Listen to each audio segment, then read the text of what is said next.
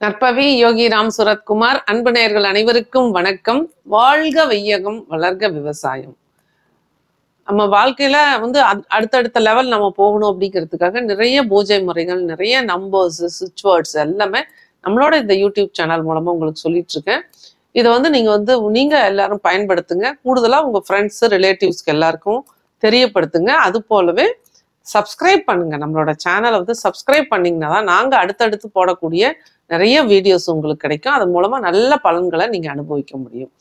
அதனால வந்து இந்த மாதம் வந்து நம்ம சொல்லக்கூடிய இந்த டிப்ஸை ஃபாலோ பண்ணுங்க. ஏன்னா மார்கழி மாதம் அப்படிங்கிறது வரப்போகுது. இப்போ இந்த மார்கழி ஒன்றுல இருந்து மார்கழி முப்பது நாளும் நீங்கள் வந்து காலையில் பிரம்ம முகூர்த்தத்தில் காலையில் நாலரைலேருந்து ஆறுக்குள்ளே காலையில் எழுந்து தலை குளிச்சுட்டு நீங்க வந்து வீட்டில் வந்து பூஜை பண்ணுறதுக்கு வீட்டுக்கு உள்ளே பூஜை பண்றதுக்கு முன்னாடி வாசல்ல சில முறைகள்ல பூஜை பண்ணணும்.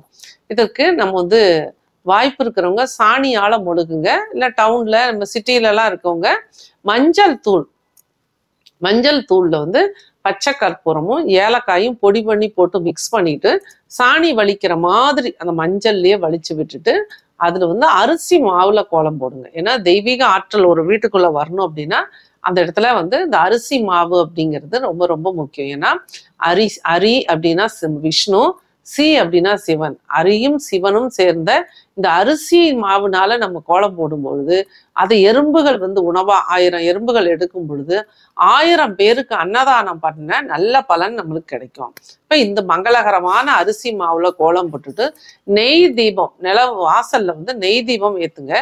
அட்லீஸ்ட் ரெண்டு தீபம் ஏத்தணும். இந்த ரெண்டு தீபத்திலையும் பசு நெய் சுத்தமான பசு நெய் போட்டுட்டு நீங்க வந்து இந்த பிரியாணியில நம்ம பயன்படுத்தக்கூடிய அன்னாசி பூன் இருக்கும் ஆறு இது உள்ள ம- இதழ் உள்ள மாதிரி இருக்கும். எட்டு இதழ் உள்ள மாதிரி எல்லாம் கூட இருக்கும். அந்த அன்னாசி பூ வந்து அந்த நெய்யில போட்டுட்டு பஞ்சத்திரியும் கா தாமரத்தண்டு துணியும் போட்டு இணைச்சி போட்டு இந்த தீபத்தை ஏத்தி வச்சு சந்தன ஊதுபத்தி சந்தன ஊதுபத்தின்னா ராகு அந்த இடத்துல. சந்தன ஊதுபத்தி ரெண்டு பொருத்தி வீட்டுக்கு வெளியில வைங்க. அந்த கோலத்துக்கு பக்கத்துல.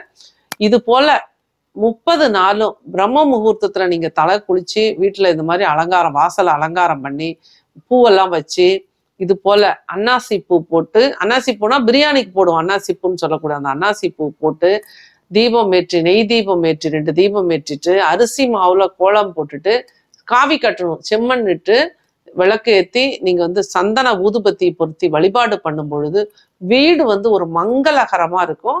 மங்களகரமா இருக்கக்கூடிய இடங்கள்ல தான் வந்து மகாலட்சுமி தங்குவாங்க.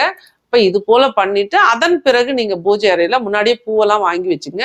நல்லா இந்த முப்பது நாளும் பூஜை அறையுமே நல்லா சாமந்தி ரோஸ் எல்லாம் வச்சு நல்லா அலங்காரம் பண்ணி தி பூஜை படங்கள் எல்லாம் தொடச்சி நல்லா பொட்டு வச்சு நல்லா தீபம் ஏற்றி காலையில மங்களகரமா வெளியிலயும் பூஜை பண்ணிட்டு உள்ளேயும் பூஜை பண்ணுங்க.